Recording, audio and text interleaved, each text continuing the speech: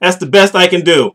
Talking about X Files. And the new shows have come back on Fox. They came on Sunday night after the Carolina Panthers won their game, so they're going to the Super Bowl. And I have to admit, I thought the game ended with, with three minutes to go. I said, oh, great, we can go right to X-Files, and they had to do 25 minutes of football. Hey, I can't hate on them, you know. I mean, they do pay for it, uh, so you had to wait. So it came on 25 minutes late, ended five minutes, you know, 25 minutes late or whatever. But it was a wonderful first show. I can't believe that there were some people who didn't like it. And my thought was it had to be people who weren't used to the show, had no idea what some of the canon was, you know, all the stuff that had happened before. Because those of us, anyone I've talked to who used to watch X-Files back in the day, absolutely loved this show. And you had part one on Sunday and part two on Monday night. And I keep trying to figure out how that was actually a two-parter because they didn't address anything in the second show that they talked about in the first show.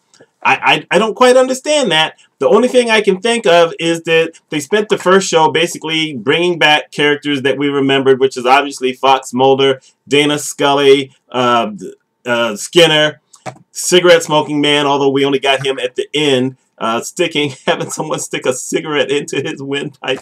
that was the sickest thing I could think of, at least in the first show. Um, and then, you know, they basically spent all that time talking about all the stuff about aliens, uh, basically trying to take over the world was kind of a conspiracy that, um, in essence, the old guard had basically got the alien from Roswell and got all this technology and built all this stuff. And they've been trying to set people up to take over the world with all these different conspiracy things and all this. It, it, it was amazing. I mean, if you are a conspiracy theorist, and I'm not, but if you were, you had to look at this thing and say, yeah, that sounds good. Yeah, that's the government trying to do us in. And everything was blamed on the syndicate. It was fantastic. I don't know who the young lady was who said that she thought she had alien technology or alien DNA. Hold on. That's what happens when you do videos live. Every once in a while, you just got to get a drink of water. I don't know who she was, but she was absolutely stunning. And she thought she had alien DNA. And it turns out she really did, but Scully had a little bit of jealousy thing. And that actually comes from that second movie that uh, came out for X-Files that a lot of people didn't like. I liked it. Uh, just because it didn't have aliens or whatever. It was, you know, basically a show. Um, only it was extended. And, uh, you know, at that time they were a couple. And so they've kind of broken up here and gone their own separate ways. But now they've come back. And, you know, so she was jealous of the pretty young lady, you know, okay, she was hot. and then the second show basically just carried through on the government experimenting on people. And this guy basically had experimented on his own kids and all these other kids. And I have to tell you the truth. I am kind of a squeamish guy at, at times. So when they went walking and they were showing these disabled kids, uh, not disabled, what, let's see, what do you call it? These kids with these genetic mutations, I basically said, oh no, oh no, I'm taking my glasses off. And I can't see pretty much anything without my glasses. So I could see basically fuzzy things, whatever, but I knew none of it was going to be pretty. so I just didn't see it. I didn't care. I didn't want to see it. I took no chances until I knew after they had done a little interview with one of the kids and things started going wacky and they went back to normal stuff. And I said, okay, great. Now I can look again because I was not looking at any of, the, any of the weird stuff. And I got to tell you, the second show was a lot like all the old shows in the past. And, you know, this is only a six episode arc. And it's really supposed to be, I guess, basically showing us what the government has been doing uh, in experimenting against us or the people and, you know, trying to do these conspiracies, and trying to do all this stuff.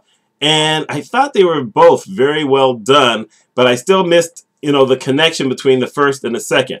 To me, those were just basically two standalone shows, almost like the very beginning, the very first shows that ever came on, where the very first one was about aliens, and then the second one had nothing to do with aliens. And back then, of course, you wondered, okay, I'm not sure, you know, really what's going on, because I had thought the entire series was basically going to be about aliens.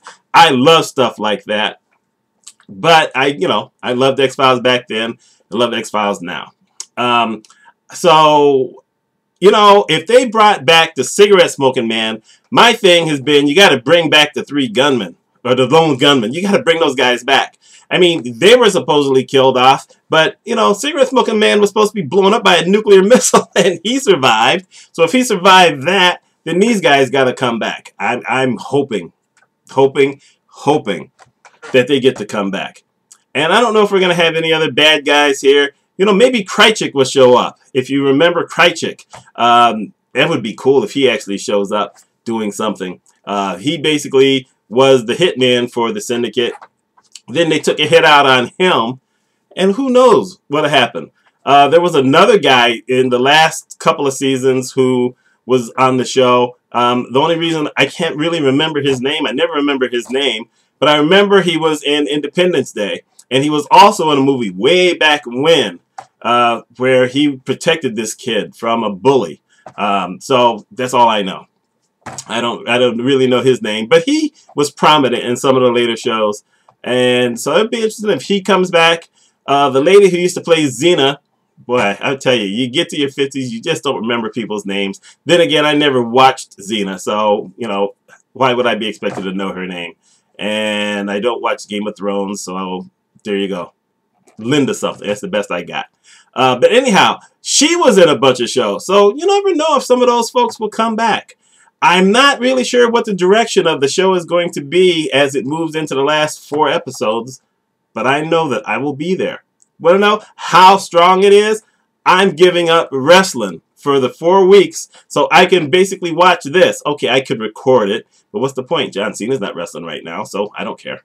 Anyway, I was also going to do a thing where I was going to try to name my top five or my favorite five episodes of X-Files. And once I started going down the list, I realized, you know what, there's no way in the world I can limit it to five. It just wasn't going to happen. So basically, I will say the very first episode, the last two episodes, which was a two-parter, and the movie Fight the Future. You know what, I'm going with those three.